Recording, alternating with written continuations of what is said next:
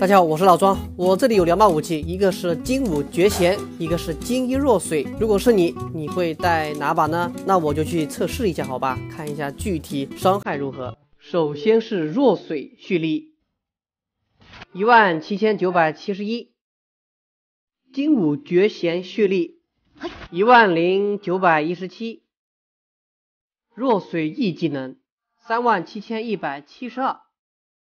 金武绝弦 E 技能两万九千九百七十六，金一弱水打蒸发，看一下多少伤害，七万七千零六十二。然后是绝弦打蒸发，伤害是多少呢？七万九千三百一十五。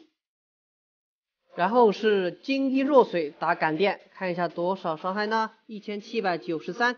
接着是金武绝弦，看一下多少伤害？三千六百六十九。